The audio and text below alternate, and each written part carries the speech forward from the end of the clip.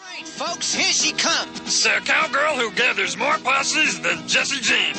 Harmony Howlette. And you're gonna take us honky tonkin', ain't that right, Harmony? That's right, Big C, sir. Hit it, Pasqually.